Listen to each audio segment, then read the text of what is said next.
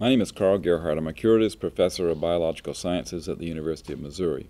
My research is focused on the eastern gray tree frog, Hyla versicolor, and Cope's gray tree frog, or Hyla chrysoscelis. Despite the fact that these are two different species, to both humans and frogs they appear identical. There is one straightforward way of telling the species apart listening to them. During mating season, usually between April and August, gray tree frogs gather in the bushes and trees around ponds. There the males generate mating or advertisement calls or trills. As more males arrive and begin to trill, the volume rises and creates what we call a chorus.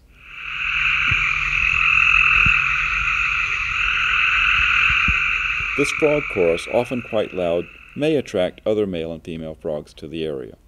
Females do not rely on eyesight to choose a mate, only on sound.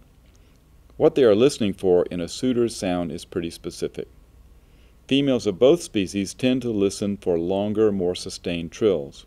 Sustaining an advertisement call is quite taxing on the male. It can be likened to a human running a marathon. Thus, a longer call tends to signal the presence of a more robust, healthier male.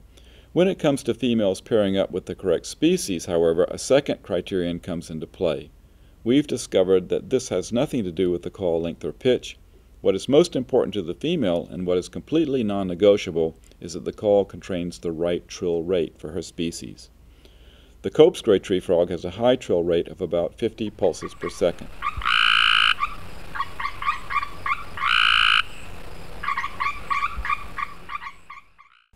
The eastern gray tree frog has a slower, more melodic call with a trill rate of about 20 pulses per second.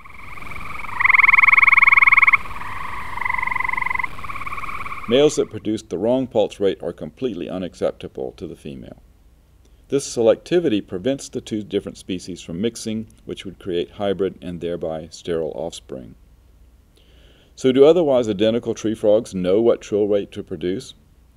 Frogs do not use active cognition. In other words, producing calls with a certain trill rate is not a behavior they have consciously adopted. Nor have they learned it by trial and error. These circuits are affected by chromosome number. One of the species is what biologists call polyploids, meaning they have extra sets of chromosomes. Cope's gray tree frog, the faster triller, is diploid. It has two sets of 12 chromosomes, or 24 total.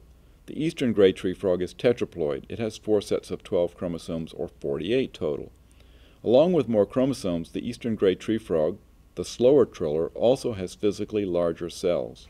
These larger cells affect the frog's muscular fibers and call generating circuits, thereby producing a slower trill rate call.